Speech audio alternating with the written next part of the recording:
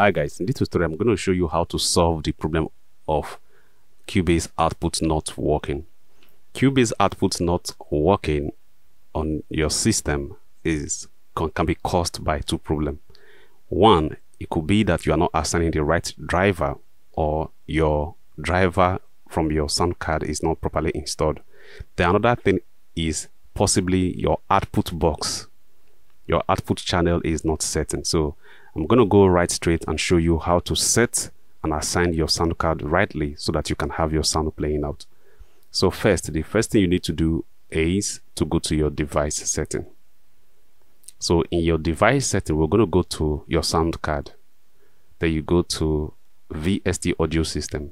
In the VST audio system, here you can find the right driver for your sound card that can synchronize your sound card together where you can be hearing your sound. For example, I'm using here, I'm using Focusrite. And I ensure that after installing the Focusrite driver, definitely the Focusrite driver is going to appear on the on this Cubase list of ASIO drivers. So I, am also using the M Audio sound card. That is why the driver is appearing here. I also have the F FL Studio installed in my system. I'm having the FS Studio ASIO. So here, these are actually your output driver that will synchronize with your system, depending on the sound card you are using. So if you uh, if you have any sound card installed to your system, you must the driver must appear here. If the driver didn't appear, then make sure you reinstall it again, restart your system, and ensure it appears. So if, for example, right now I'm using FS Studio ASIO driver.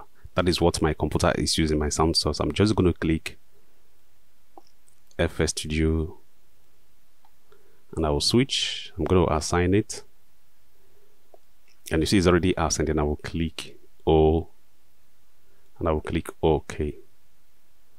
So I'm going to play back my sound and you see the sound will start coming out.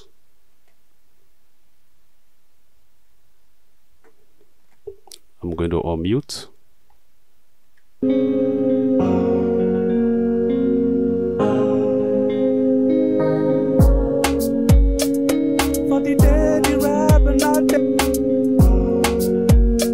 So you can see the sound is coming out because I assigned the right driver.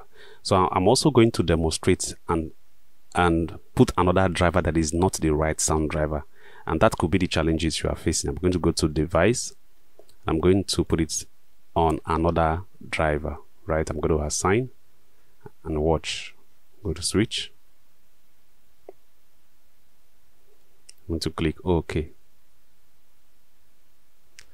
So I'm setting that you are not going to hear any sound because it's on, on the wrong driver.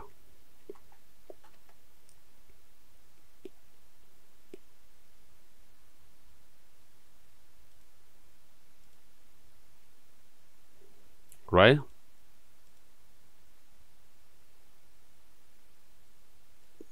So you see, you can actually pick up that and realize that it's not on the right sound um, driver, right? So another challenge you may be having on not hearing the sound is your input and output settings. So in this case, I'm going to go to VST I'm going to go, we're going to go to VST.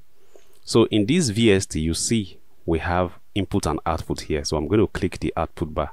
Sometimes after you have finished installing your Cubase, you're going to see a situation like this not connected. Sometimes you may come here, you see not connected. And this is your output and this will enable your sound to come out from the speaker. So what you need to do after you have set the right driver, insert the right driver, then you're going to come here, you click right click, you put it output 1, which is your first speaker, then output 2 that will come out on the second speaker, which is your stereo.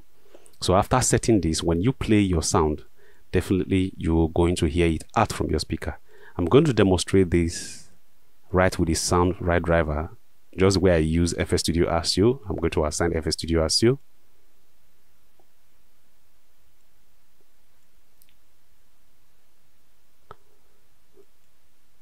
So I just assigned the FS Studio ASIO. I'm going to go back the VST. The shortcut is F4.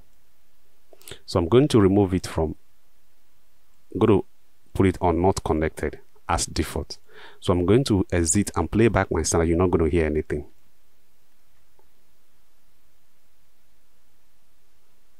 So you notice it's playing, but it's not coming out. Okay. So that could be the case, what you are experiencing right now. So I'm going to go back. I'm going to go to VST4 and I'm going to go to the right one, output 1. I'll click. Then I'm going to go output 2. I'm going to exit. Then I'm going to play right now for you to see.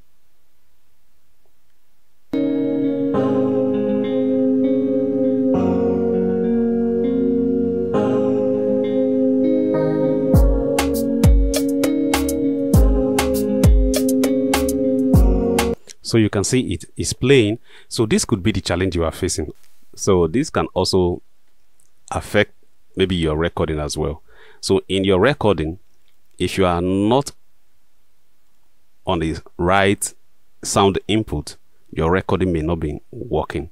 So make sure you have the sound right driver assign it to the right sound driver. As you can see, if you have the right sound driver, once you speak on your microphone, you're going to be getting signal here, which means it has started picking sound from your external device, which is input, input, we call it input.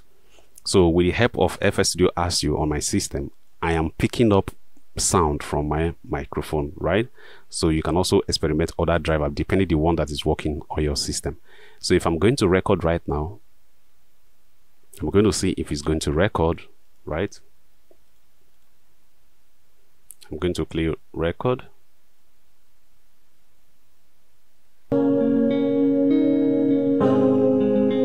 Yeah, yeah. Yeah, yeah. Yeah, yeah. Uh-huh. Uh-huh. Uh-huh.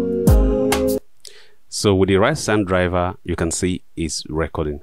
So I'm also going to demonstrate it for you. If it is not on the right sound driver, it's not going to record. So I'm going to put it on, let's say, Focusrite, which is, which may be the wrong sound driver, right? I'm going to remove this. I'm, I'm going to click recording to see if it's going to record. Yeah, yeah. Yeah, yeah. So guys, as you can see, it's not recording, right? It's not recording because it's on the wrong driver, right? So, so that is on when you assign the wrong driver, it's not going to record or it's not going to pick up your sound too on your input and output. So this can also be a problem when you don't have the right input settings. So I'm going to put it back on ASIO driver go click OK. So I'm going to check demonstrate in for the input. So I'm going to go to VST connection 4. So when you go to VST connection 4, for you to be able to pick up signal from your microphone, you're going to check your input. So sometimes after you have installed your software or maybe because of shutdown error, you could come here and find it is like this, not connected. So we are going to try not connected. You see, you're not going to receive any input signal. So on not connected, you see nothing is working. You can see the recording input is not working, right? All right. So I'm going to delete. So I'm going to go back to device, VST. I'm going to put it on input one, input two. So we're going to try it again. You see it will be recording. Yeah, yeah. Yeah, yeah. Yeah, yeah. Yeah, yeah. Yeah, yeah. Yeah, yeah.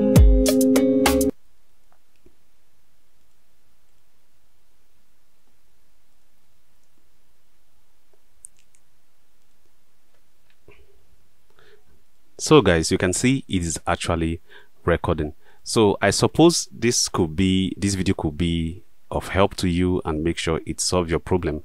So make sure you go right there to the point and check first your VST connection and check your what? your VST, your device connection to ensure that you have the right driver in place, or you go to your VST connection to check whether you have the right input and make sure you have the right the right output. So in the input, make sure you click one and two. On the output, make sure it is assigned output one and also output two. Then I'm going to exit this. Then on your VST connection device setting, on your VST audio system, make sure you are on the right driver. Then if you have a sound card you have installed, make sure this driver of that particular sound appears. If it doesn't appear, try reinstalling it again, restart your system. Hopefully it's going to appear. Once it appears, you simply do is to do what? You assign it. Just the way I'm using Focusrite, I'm going to assign to Focusrite. So once you assign it to Focusrite, there you your sound will begin to do what?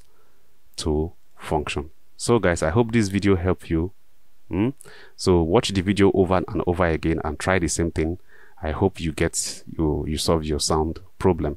See you in the next video.